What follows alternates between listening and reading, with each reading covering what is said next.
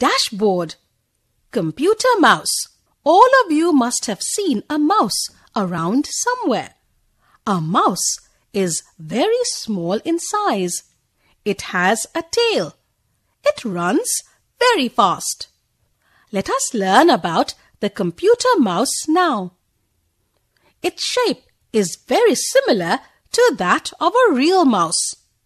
It is small and has two buttons on it. It is always kept on a mouse pad. It has a tail-like wire which attaches it to the CPU.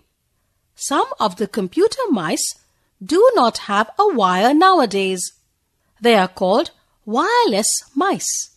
A computer mouse is used to point at and open the small icons on the monitor.